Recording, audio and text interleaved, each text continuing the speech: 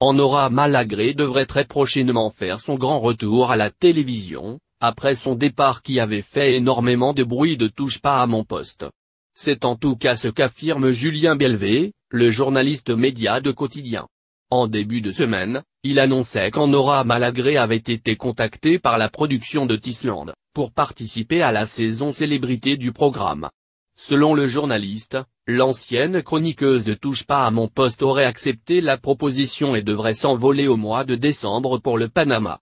Si M6 n'a pas confirmé cette information dévoilée qu'en quotidien sur TMC, en aura Malagré a de son côté répondu sur les ondes d'Europe 1.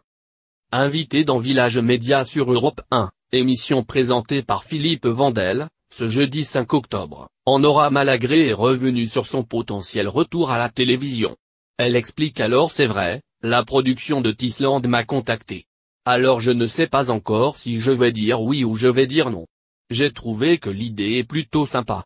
Après je ne sais pas si j'ai envie de revenir en télé déjà, tout court. Et si j'ai envie de revenir via cette émission-là en particulier. Je réfléchis encore. Il faudra donc patienter quelques semaines pour découvrir si oui ou non en aura Malagré fera son grand retour à la télévision sur M6. Si elle accepte, elle s'envolera avec d'autres personnalités comme des sportifs, avait précisé Julien Belvé dans Quotidien.